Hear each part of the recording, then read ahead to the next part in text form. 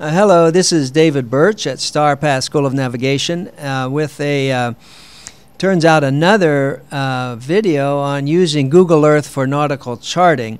And in fact, this is a brand new one that in many ways replaces what we've done earlier. But we've just run across this, uh, this technique, which is actually pretty phenomenal. Uh, I don't think it's brand new, it's just that we just found it. And so we'll tell you about that here. And then um, uh, show some more. So uh, this, uh, let me, here's a page, and I'll put this in the instructions to the video. This is the page online at NOAA that actually describes the process. And then ultimately, this is the main link that you need to get the file, this KMZ file that works on Google Earth. So the way that would work is we go to uh, Oh, I don't eat. Uh, okay. Oh, so here's the NOAA site, the one I mentioned uh, in there. And then down here, this is the link right here. So you click this link and then save it like that. And it's only small, a couple hundred uh, megabytes or uh, kilobytes or something. Then you can go to your uh, Google Earth, which is right uh, here, Google Earth. Oh, that's what we were looking at, Google Earth. And then go to your downloads where you uh, saved that file. I looks like I have two of them there. That doesn't matter. And just grab that from your downloads and drop it on Google Earth like that. And then you see this phenomenal picture.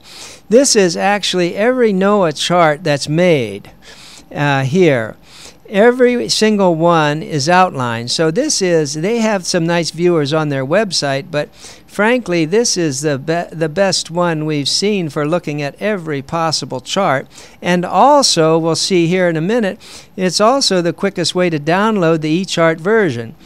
And what we've been working on lately is this chart right here in this region, which is the one we use in our training charts. So if you click that chart then, then you have, uh, first of all, you can uh, uh, you can actually download the chart. That'll just download it right to your computer. But here, then, you have two views: one with a border on it and one without. So if you put the put the without the border, then you can put charts next to each other, and now it just loads that chart right on right onto your computer. And furthermore, it'll be saved there. So you can have multiple charts to look at, or you can uh, do uh, just one or two or whatever. But so when that chart is there, then you can uh, zoom in on that like that. And then the tools work here for me measuring range and bearing, you know, between uh, two places like uh, here and uh, here. Uh, oh, wait a minute. I, oh, yeah, I did it backwards. But anyway, there, okay, click it.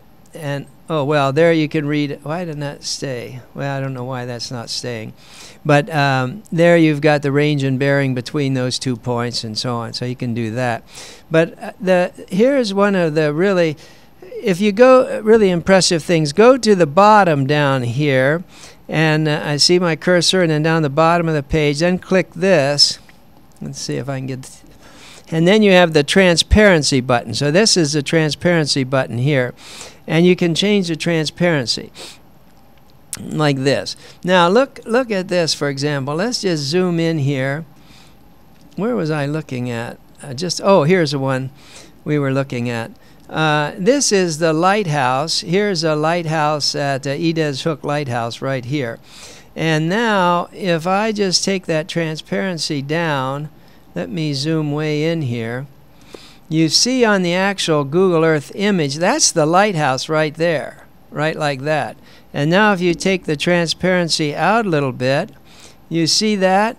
you've got really super precise locations of objects and coasts and so forth. Even this buoy, now buoys may not be in the right spot.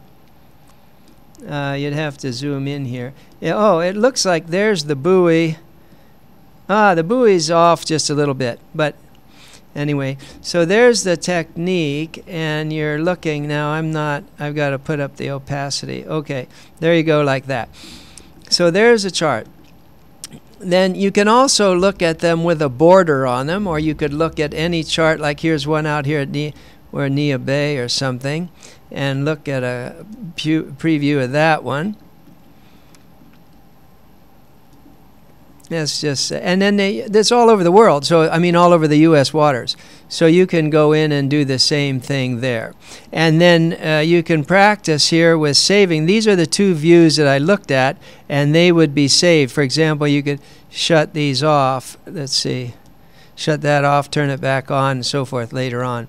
And then, uh, for example, if you so um, if you want to download one of the charts, let's say this little guy here, you want to download it, you would just uh, click that guy, click it, and then go to download the chart like that. And then this pops up this screen where you say it's okay, I agree, and you click it, and then you say save, and uh, then you've got here that chart.